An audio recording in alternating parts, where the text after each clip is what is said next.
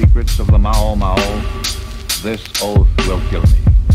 If I am called in the night and refuse to come, this oath will kill me. If I see anyone steal white man's property, I must help him. I must hide what he gives me and say nothing, or this oath will kill me. The whole system in this country, the economic system, is such that uh, jobs are scarce. Automation is limiting jobs. It's, it's, it's decreasing jobs. And uh, if autom- as automation eliminates the job opportunities, legislation will not create job opportunities. All it will do is bring about friction and hostility between the two races. You, you see, there will be no uh, progressive revival if black uh, folks are not deeply involved in it.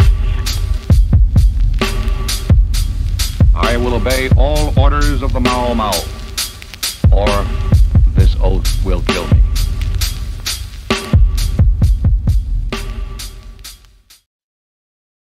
Good evening, everyone, and welcome to another episode of the Mau Mau Hour with your host, the Pascal Robert.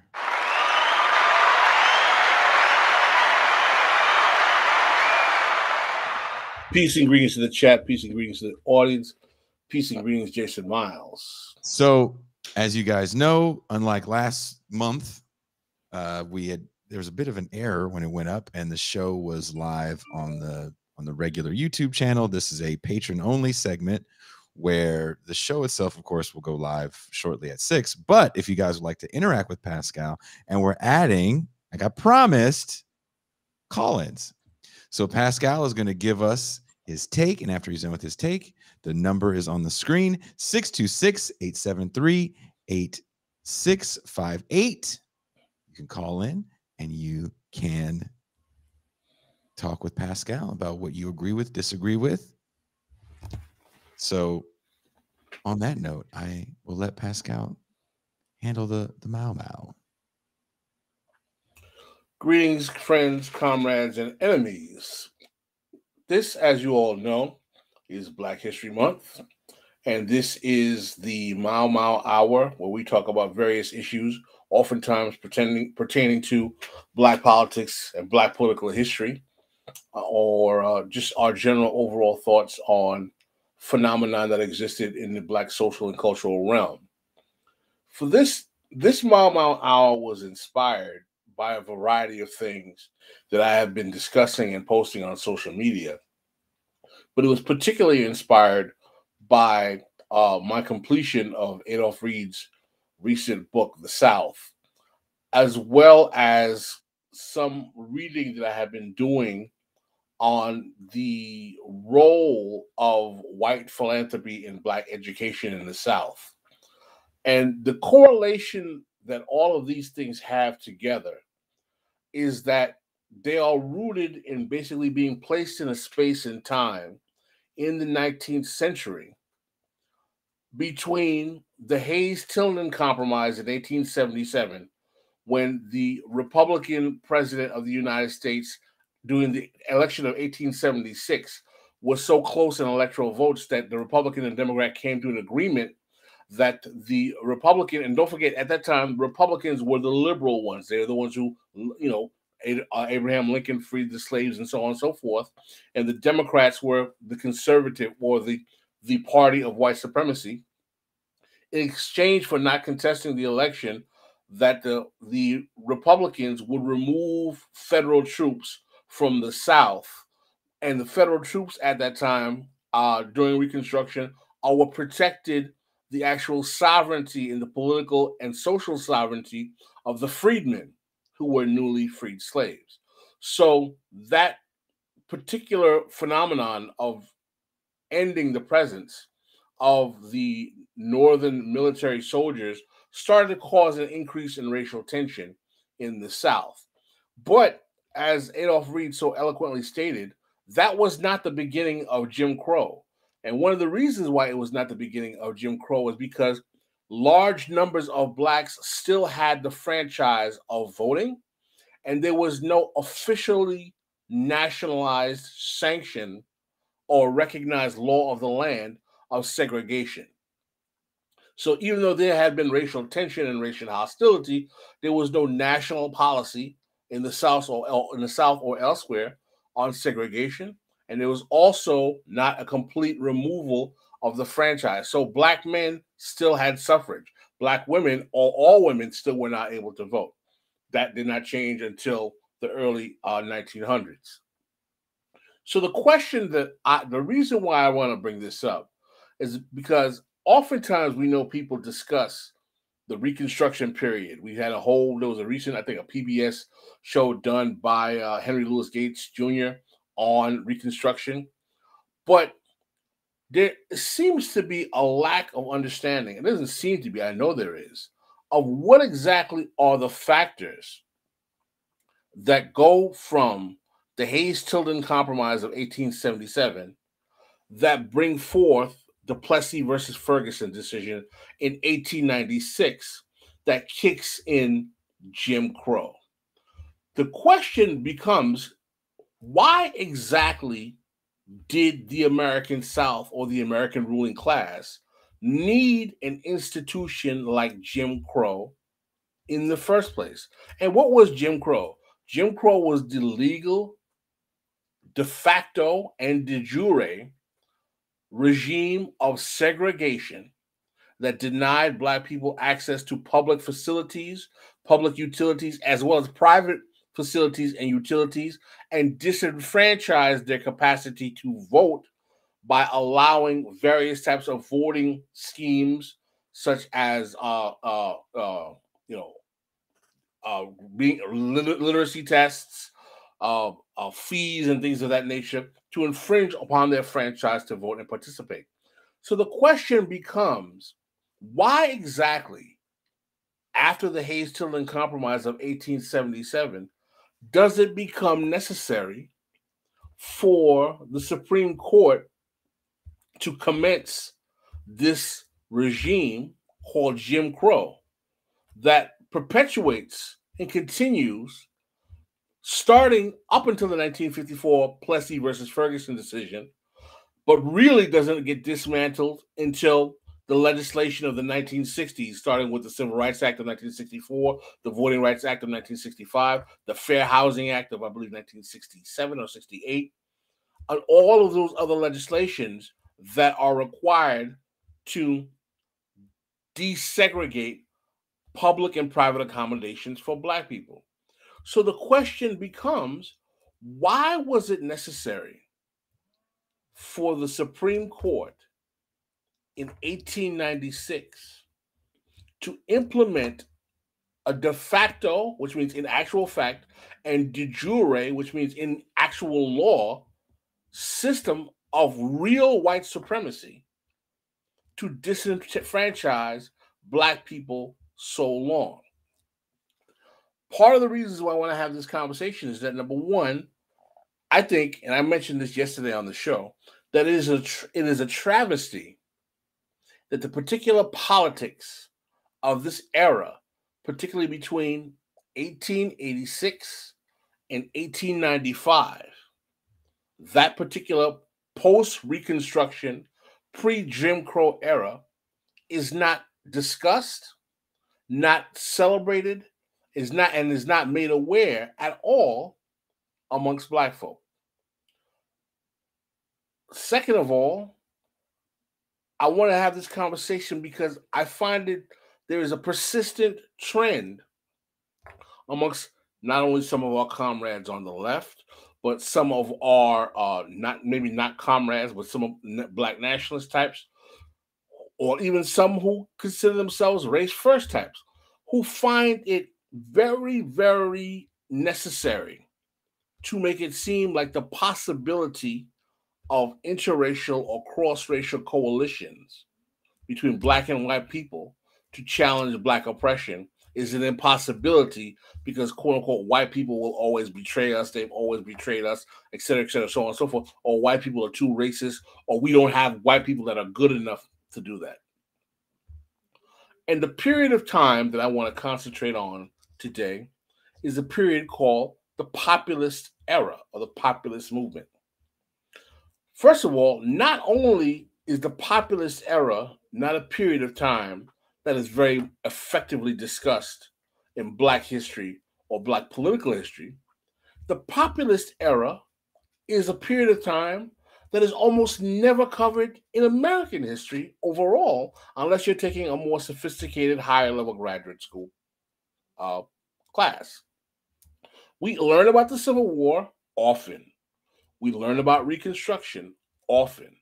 But this, this particular period, 1880s to 1890s, the populist era, it seems to escape the consciousness and the imagination of the American body politic, particularly black communities. And I will, I surmise, and I will uh, present to our audience that the reason the populist era escapes the intellectual consciousness of most Americans is because the populist era is the first time in American history maybe since Bacon's Rebellion, where there is a movement amongst segments of American society, which I shall name, that was so potent and powerful, it had the potentiality to overthrow Southern bourbon capitalism, as well as the traditional two party system.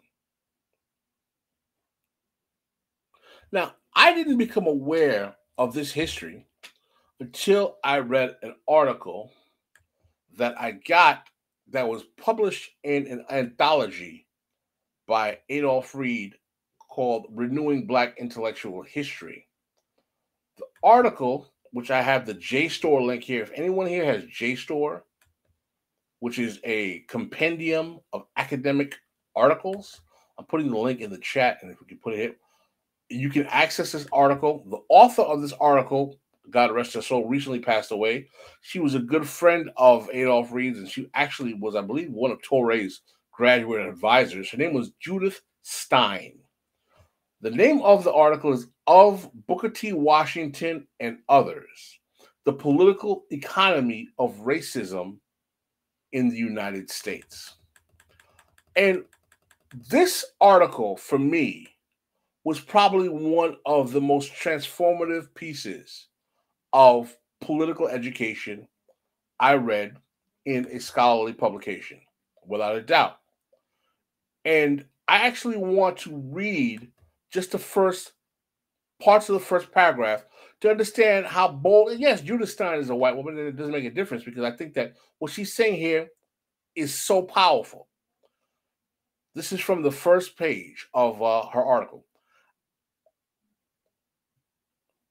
The research stimulated by Black politics of the 1960s has made Afro American history more widely known and better documented. Yet some of the findings are contradictory, while others are isolated from larger meanings. Crucial areas have been ignored even while the quantity of data has increased. Gaps exist because many writers have concentrated on seeking historical, historical anecdotes for the culture and politics of the 1960s. As a result, examination of Black culture has often been narrowed to non political, slowly changing facets like family life, religion, music, and folklore, and the study of Black politics has been largely limited to men and movements seeking purely racial goals, the forerunners of the civil rights and nationalist movements of the past decade. That past decade meaning the 1960s. This article was written in 1975. The root of the problem is that most historians possess the disconnected ideology characteristic of the dominant intellectual traditions of their class and era. Thus, while the social and cultural historians have found that Black community life was rich and vital, the political historians have treated the popular resources of Black political leaders as passive needing either massive extortation or opportunistic compromise. These contradictions and others coexist because analysis are frequently limited to one oversimplified explanation. racism. That's the first paragraph. What is phenomenal about what Dr. Stein was saying in that piece is that one of the biggest obstacles to understanding Black political history, particularly 19th century Black political history, is that it's always reduced to a battle against racism. And what is particularly fascinating about the statement that Professor Stein makes in that article is that one of the particular consequences of this contemporary political moment, moment with the 1619 Project, critical race theory, Afro pessimism, and all of these other various iterations of Black thought, the one common thread that they all have is that they try to reduce African American social, political, and historical reality in this country to simply being a conflict about racism. So, what Judith Stein is saying is that when you reduce analysis of Black political life to simply being a conflict about racism, it diminishes your ability to understand that there are multiple of other factors that negotiate the realities that black people are challenging. And not only that one of the most important things that it neglects is that one of the things that black people have a history of challenging in the united states is capitalism So, what I'm trying to explain is that one of the consequences of this hyper focusing or framing of Black life in America exclusively as a battle with racism is that it obscures the fact that racism is a form of class oppression in capitalism. In other words, the presence of Black people in America has a particular utility to capitalism in America. Black people were not brought to the shores of North America because white folk did not like dark skin. Black people were brought to the shores of North America because white people wanted to extract profit revenue from free black labor. When you realize that you understand that there has always been a direct correlation between the presence of Black people in the Western Hemisphere, North or South America, post transatlantic slave trade, and the functioning of political economy or various forms of capitalism. And what is particularly interesting about this article by Dr. Uh, Judith Stein is that she talks about how this period, the populist era, and the lack of study thereof becomes obscured because racism doesn't explain how less than 30 years after slavery, Southern poor white sharecroppers and farmers and some industrialists are coming together with Southern poor black sharecroppers and farmers through the Colored Farmers Alliance, which was the majority black alliance of over 1.2 million people, and the Southern Alliance, which was a majority white.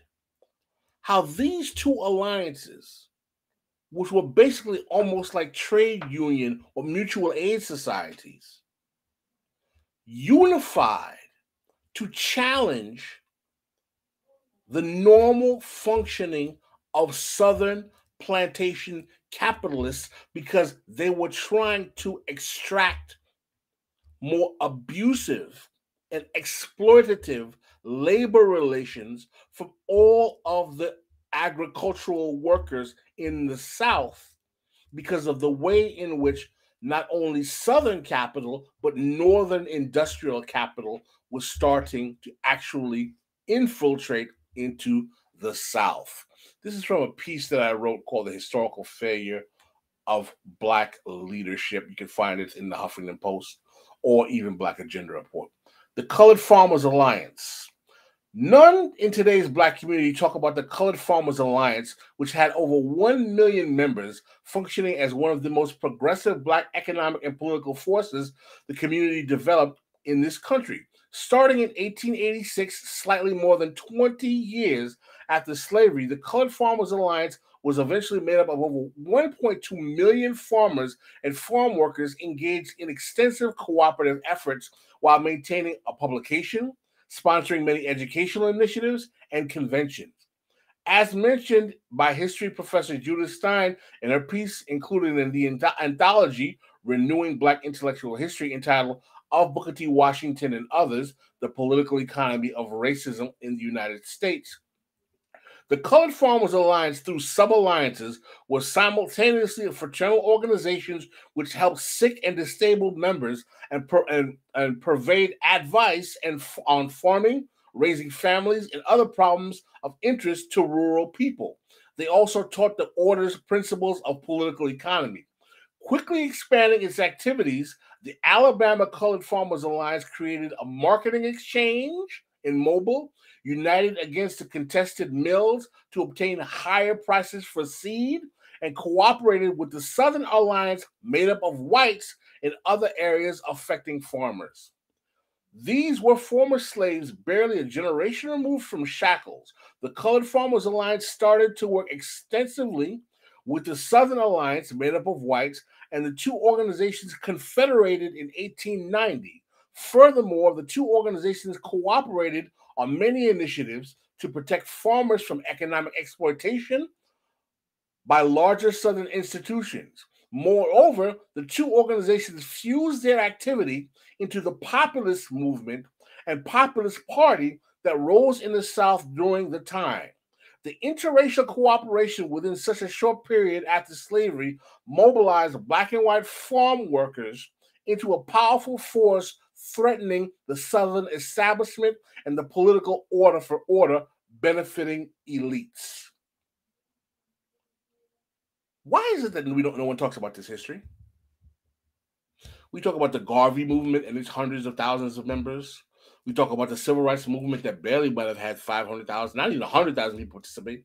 This was an organization of over 1.2 million Black people started in less than 25, 30 years after slavery that was so dynamic that they had their own educational, farming, uh, publication, family instruction systems, health care advisory systems that was challenging capital in the South working in alliance with white people, and not only with a challenging cap, challenging, challenging capital in the capitalism in the South, but literally fused with white Southerners who I'm sure were racist to come together and actually create a third party fusion between the Republican Party and the Populist Party to challenge the political establishment.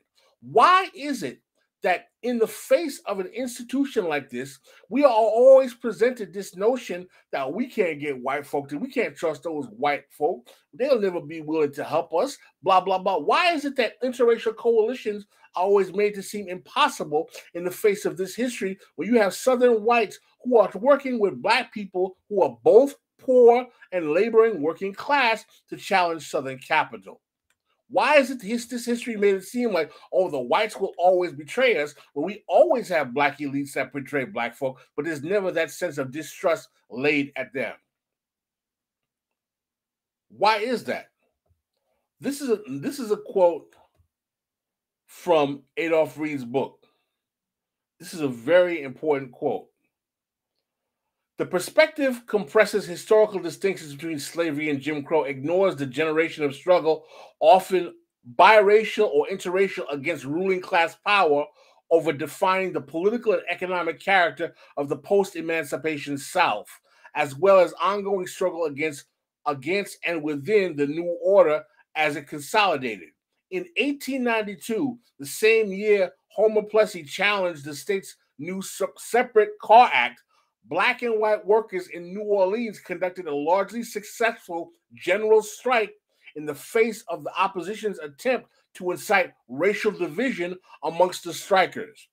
In Waterfront Workers of New Orleans Race, Class, and Politics, 1863 to 1923, Eric Arnesen documents a complex history of interracial and biracial solidarity and tensions among the city's strong dock unions, even during the high period of ruling class revanchism and codification of segregation.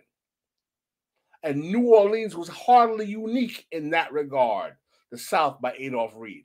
I remember I told y'all when we had Adolph in the actual Patreon section, I said, one of the things that I appreciate about reading Adolph's books is that he gives you references in his books to demonstrate how many people, particularly black academics of today, are dumb as rocks. And one of the types of people that I find that these quotes and these citations and these references illustrate are dumb as rocks are those folks who always say things, oh, inter- interracial coalitions can't work. You can't trust the white working class. They're so racist. You think that these white working class today are any more racist than white people who were 25, 30 years after slavery? Who, because they realized that capitalism was basically grounding them to powder, that they had to at least work with black folk. Now, do you think it was Shangri La? You don't think there was racism? You don't think they, they were people who were betraying each other? Of course they were. People are working for their political interests. This isn't a, a, a a, a freaking Candyland movie. This isn't Hollywood. This isn't a summer camp. There's going to be sharp politics involved. Of course, you're going to have to test your comrades' merit. Of course, you're going to have to test your allegiances.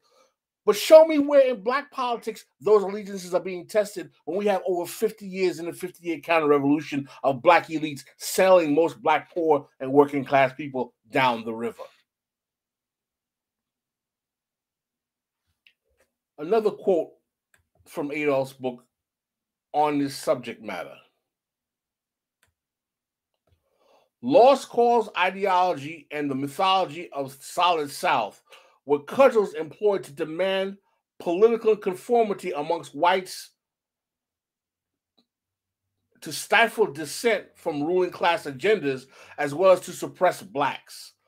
In his definitive study of disenfranchisement, the shaping of Southern politics, suffrage restriction, and the establishment of the one party South, 1880 to 1910, J. Morgan Kousser quotes North Carolina Governor Charles B. Aycock, who made the point succinctly, writing several years after a violent 1898 Democratic putsch ousted the interracial populist Republican fusion government that had won consecutive statewide elections in the South. The Democratic Party is alone sufficient. We need a united people. We need a combined effort of every North Carolinian. We need the strength which one come, which comes from one believing alike. Segregation was enforced on whites as well as blacks. That quote is telling you that there was a coalition of the populists and who were white and black Republicans to create a third party fusion party that were literally taking over political positions in North Carolina in the South after Reconstruction was betrayed by Hayes Tilden, threatening the two party duopoly.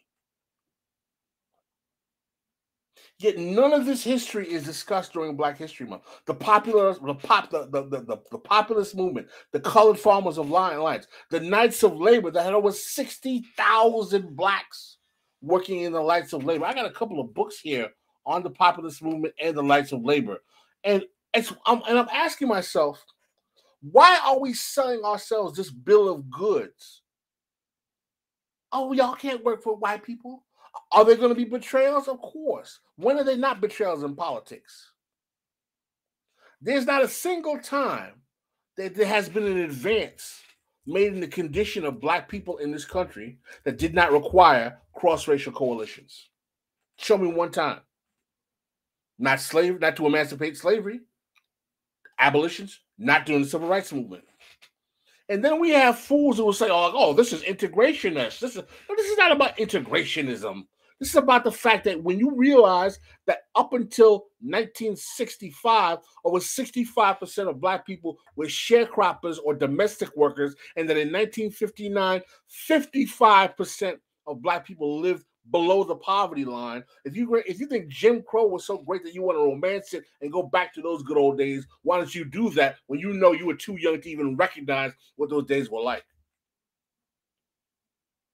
There's no, there's nothing more comical to me when I meet a Generation X or a late baby boomer talking about, oh, he's an integrationist. He's a neo-integrationist. Negro, do you want to go back to Mississippi in 1954? You dumb bastard. Oh, it was integration that messed up black folk. We had our own businesses and hotel. Read E. Franklin Frazier when he talks about the complete net value of every black black bank in the United States in 1957 did not even have the total value of one small white bank in New York State. Yeah, we buy into these ridiculous, idiotic black capitalist fantasies about Jim Crow segregation. Talking about it was integration. Integration wasn't the problem. What, pro- what the problem was is that we're integrating into neoliberalism. I'm reading a great book right now by Judith Stein. Again, the pivotal decade. It's about the 1970s, how the United States traded factories for finance in the 70s. It talks about how the actual economic condition of the of the 1970s is the precursor of neoliberalism that we have going on into the 21st century. In 1971 is the first year the United States has a trade deficit going back to 1893. This is the political economy that black people are integrating into capitalism was failing by the time that black people ended Jim Crow and came into a system that wasn't even going to provide for white people anymore who were poor and working class. Mass incarceration helps facilitate the rendering of black people disproportionately to the reserve army of labor because after being evicted from being sharecroppers and domestic workers, their labor becomes redundant. Crime ensues, drugs, etc., etc., family dislocation, and mass incarceration becomes a proxy for actual under work under underclass labor, if you will, and the birth of underclass ideology starts to start in the 80s.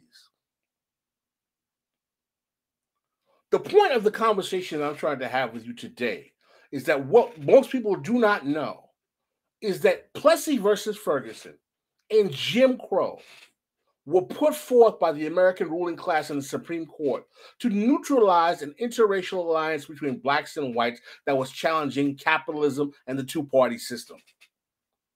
And my question is that if it could be done in the 1880s and 90s, why can't it be done now? And why do we have so many white, not white folk, but black folk who are so like, no, no, that'll never work. It'll never happen. It worked so well in 1896. We had to get a Supreme Court that was getting telegraphed by Booker T. Washington the year before in 1895 that we don't have a problem with that segregation stuff. You can give us that, that decision in the Atlanta Compromise speech. Because one of the things that I mentioned in that piece, the historical failure of black politics, is that one thing that people don't know is that one of the responses to this rising progressive interracial co- cooperation by the Southern establishment was supporting Booker T. Washington and financing the Tuskegee machine. Washington would provide an ideological thesis to extinguish the populist activities among blacks and neutralize the combined forces of the Colored Farmers Alliance and the Southern Alliance by arguing for political disenfranchisement and acquiescence to the forces of the largest Southern agricultural interests. These efforts worked to the detriment of members of both alliances, black and white, and basically launched black people into Jim Crow up until the 1960s. Yet his betrayal should be celebrated every Black History Month.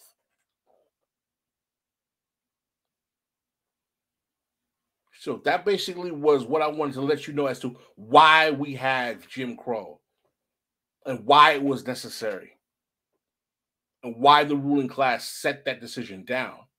And when we talk about black politics now, and we hear all these folks talking about we need to go it alone, 13% of the population in a country that's almost 60% white, go it alone. When has that ever worked in terms of actually transforming ruling class change?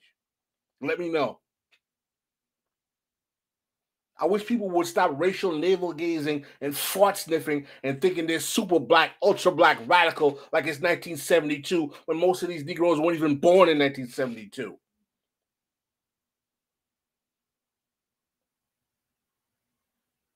And on that note, I'm willing to take your calls. Jason, you have any questions, statement? Uh, well, are you uh, are you calm now? I was calm the whole time. I can't. Sorry, you got me in the middle of eating a carrot, something I never do. Um, I can't see the chat for whatever reason. Are there anyone in the chat? Uh, yeah, yeah. I had to go on my iPad to see if people are talking to you left and right, but for whatever reason, I can't see the chat either. it's like they don't know that whenever we do these calling features, it literally costs money.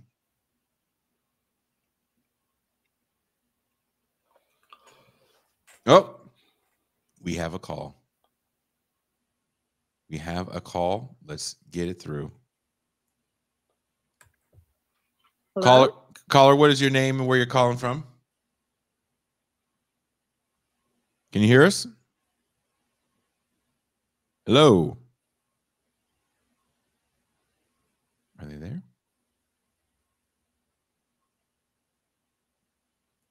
Hello. Let's try to push this next one through. Hello? Hello. Can you guys hear me? Yes, we can. Is this Hello, Shirley? can you hear me? Yes. Can you hear us? Yes, this is Shirley. How are you? Good. Hey, what's up, Shirley? Yes. Hey, Pascal. What's going on? Did I lose Jason? What happened? It's a weird night tonight. The question stopped. Oh, cooperation. But I'm sure it has a point, but that that's a lot for me to uh, take in right now. Can you repeat that real quick, uh, Shirley? We we we missed some of that. That was my fault. Oh, I'm sorry. What No, I'm sorry. Okay, so I was saying that I'm a bit jumbled because I never heard Jim Crow described as a way to. It was implemented as a way to stop to stop interracial uh, cooperation. Yeah, most people don't know this history. Well, I'm a history buff, and so and I'm aware of the Colored Farmers National Alliance, but my my knowledge is very, very basic.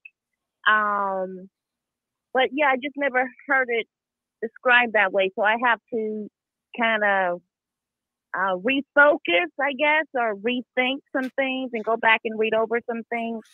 But um, I did want to ask you this question, Pascal. Yes. Um, and I put it in the I put it in the chat, I and couldn't see the I'm going to reword it. So, are you suggest suggesting that the black working class should be more suspicious of black upper and black upper middle classes than they are over white working classes? No, no, no. That's a straw man. I didn't say that. I didn't say that at all. I'm saying trust no, No, one. no, I'm asking.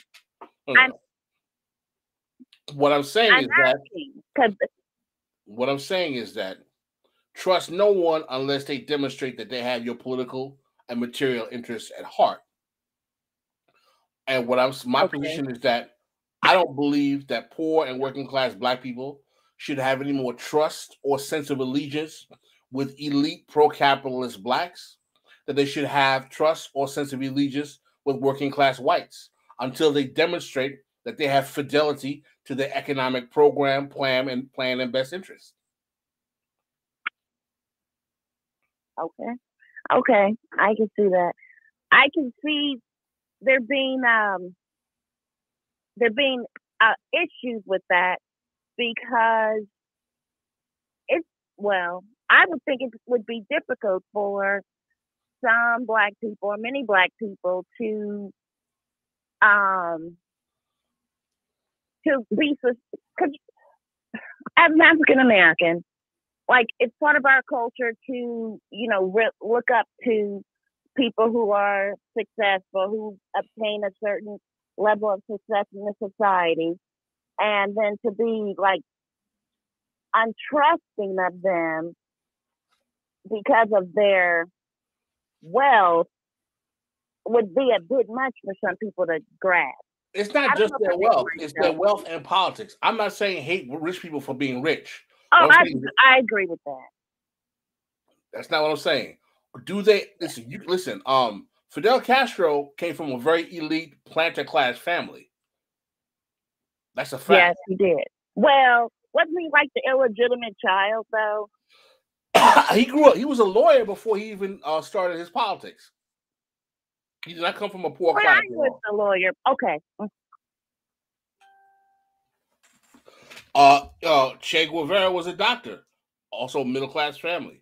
Yeah. What I'm, what I'm saying is that if these folk demonstrate the capacity to do what the great Amilcar Cabral calls class suicide, in other words, if they have petit bourgeois or bourgeois class standing, but they're willing to uh, neutralize the class interests that exist amongst themselves to ideologically view themselves in line with the proletariat masses of the poor and working class and and sacrifice for their political agenda, then that's a good thing, whether they be black, white, or otherwise. Yes. But until they're willing to do that, they should be viewed with skepticism. And Shirley, I wanted to read something to you because you know some people might find okay. it skeptical that I'm using a quote unquote white source for this information in Judith Stein because I know how some of our folks are. This is from a very classic text. I'm sure you probably heard of this book, Shirley. It's called The Betrayal of the Negro by Rayford W. Logan. Yes. Who is a who is a premier black historian. He is one of the vanguards of early 20th century black history. This is from chapter five of The Betrayal of the Negro by uh, Rayford W. Logan. The nadir under McKinley. The populist revolt threatened briefly to halt the triumphant march of the South back to the way of life it had mapped out for the freedmen prior to the federal government's attempt to organize its own program of reconstruction. Distressed white farmers in the South temporarily laid aside their racial animosities and joined black farmers and workers in order to alleviate their common grievances. But the economic program of the populace floundered on the shoal of free silver, and the racial solidarity concept was overwhelmed by a new tide of demagoguery. Cleveland, meaning Grover Cleveland, the president's second administration, was so beset with the national and international problems of the Panic of 1893, free silver, the populist revolt. This thing was so big, it was challenging the politics of a pre- sitting president, Hawaii, Venezuela, and Cuba, that he had little opportunity to stop the steady deterioration of the Negro status. Listen to this part. He probably concluded that the Southern question was definitely settled when Booker T. Washington won national acclaim for his Atlanta Compromise speech in September of 1895. In the following year, the United States Supreme Court consolidated the triumph of the former slave states when it sanctioned the doctrine of separate but equal accommodations. Everything you asked me that you didn't know, Rayford Logan is telling you in that book about how Jim Crow comes about pretty much because of this interracial coalition. Well, I'm no fan of Booker T. Washington. I mean, my family's not, at least on my father's side. Just like we got a long history with him. long history with him on my end. So Okay, I'm just gonna have to rethink some things. Well, I hope you found this information valuable, and I, I brought multiple sources so that people can, like, you know, check it out. I believe, yes. Well, thank I you. will check it out. Thank you And very a- much for calling. It's a good show. Thank you. Bye bye. Thank you. Have a good one. All right. Who else wants to talk to the Pascal Robert? We're ready. We're ready to go. I'm ready to do this. You have another call? Nope. I'm surprised Strom isn't calling. We cannot see the chat. Why can't we see the chat? I don't know, man. Look, if I knew why these things happen, then they wouldn't happen. Jason, you I mean, I'd like to hear your thoughts, Jason. Were you familiar with this history? Um, just from you, uh, just so people know, I, I get yelled at e- equally. So it's not just the show he waits to yell at, you know, while he's getting his mau mowing ready. He mau mows all of us beforehand. Then he's prepared for the show. Once the friendly fires. is. Well, what did you think about this information, the presentation today? Oh, that was excellent. That was excellent. We're going to give people a few more minutes. And then because we can't see the chat, we're just going to have to shut it down. I have to have another device open just to see the chat, to be honest. Oh, Strom said he's going to call. So we got to give Strom some time to call. All right. What did you think about the show yesterday? I loved the show yesterday. I had a good time. I had a What did you think about time. the Yanis Varoufakis interview? The Yanis Varoufakis interview was baller status. A lot of people liked it. I, I watched it again. I had friends of mine who said they really enjoyed it. I have a friend of mine who works in finance and economics. He was like, "That was pretty Strom impressive." McCallum, what, Strom McCallum, whatever comes up. Oh, he just jumped on in. Look at that. Do you hear that, Pascal? Yes, sir. Strom McCallum. Strom, what you got for us? What do I have? Um, sorry, I need a show's real loud in the background. Sorry. Um, well, a couple of um, recommended topics. Um, if you are interested in examples of interracial labor cooperation in the South in the 20th century, I would recommend looking up the um, history of the Textile Workers Union in Danville, Virginia, the CIO affiliated one in the 1940s. And um, in addition to that, check out the writings of Peter Coclanis. It's kind of a general economic history of the South that he kind of fleshes out, but it's Oh, I bought that book. really informative. What's the name of the book again? Um, he has a book out with David L. Carlton called The South, the Nation, and the World that came out in 2003. It's a University of Virginia Press one, and um, it's it's an amazing economic history of this whole. It covers that era. Oh, I don't have that one. There was another book you suggested that I did get though about the South. A Um, Coclanis book. I'm looking for the actual. T- it's called right here, right here. We're slowly trying to put together uh, a recommended reading list for uh, for patrons. The Southern Key. The Southern Key. Oh, that's that's a Michael Goldfield book. Yeah, I actually got that on your suggestion. Cool. But can you uh can you give can, uh, Um, post uh post can you, e- you, you you know email, email us the title of that book again, please.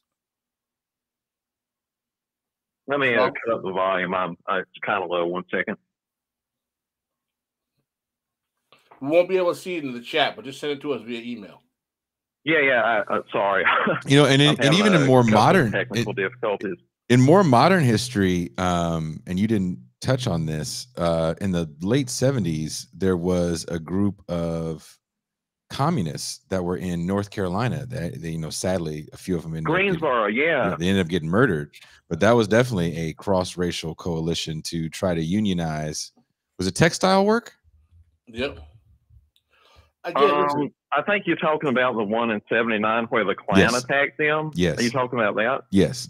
Yeah, that was in Greensboro. I don't know if that was related to textile mills, but um, I do know the vague history of that.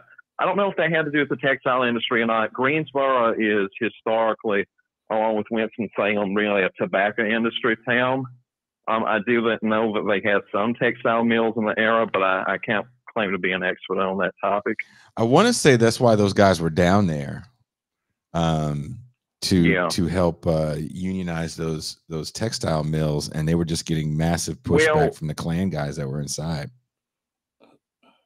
Yeah, you know, Greensboro actually has a really strong radical tradition that a lot of cities in the South don't.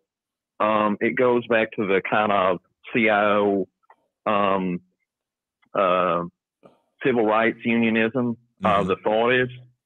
And um, it, that's also kind of a historically really wealthier and industrial um, area.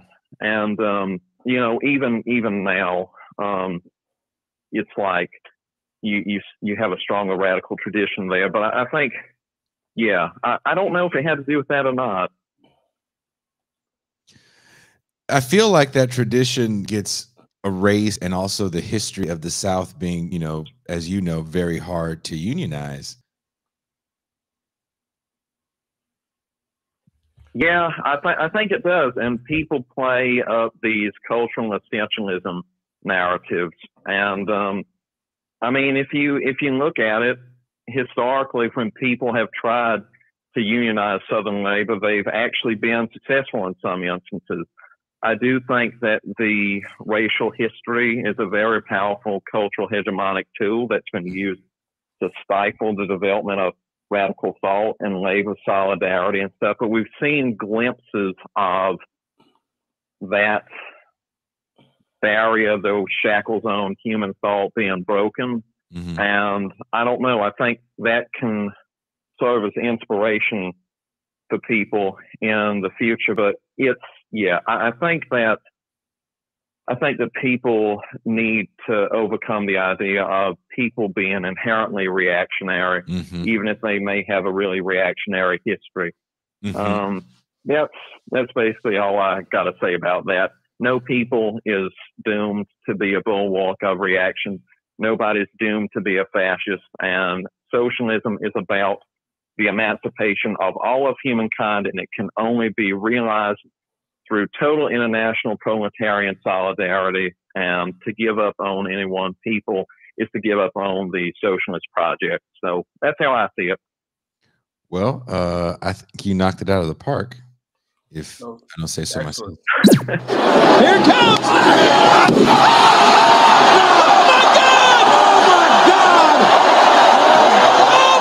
And that is the call. Well, I got to say, I'm I'm only hearing about half of what you're saying because something's wrong with my phone with the connection right now. But I'm I'm flattered by that assessment, and um, as always, just glad to call into the uh, best Marxist podcast out there. So Well, thank you very much, Strom. Thank you for the flattery, comrade. absolutely, I won't spend the whole treasury on this call. So I'm gonna talk to y'all soon. I appreciate it.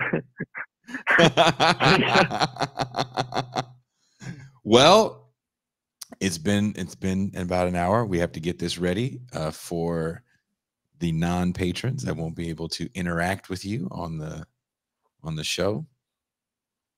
The jealous ones. I take that back. They might not. You gonna put this up tonight? Yeah, in like five minutes. Awesome, man.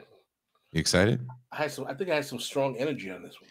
I yes, you're very angry. I don't know what's been making you angry. Maybe did you put something in the chair to make you a little uncomfortable? No, the chair is well, fine. The chair is its own character at this point. You understand this, right? I understand it has its own skits. All right. As long as you know this. Well, thank you guys. Thank you for our guest call screener today, M. Toussaint. Usually the show moderator, M. Toussaint, would you like to say anything before we go? I guess that's a hard no. Or with the camera off, they're doing sign language or possibly miming. Either way, I don't know. But I think what they're trying to say is thank you, everyone. And we will see you tomorrow. We do our news roundup. And what are you going to be talking about on the news roundup, Pascal?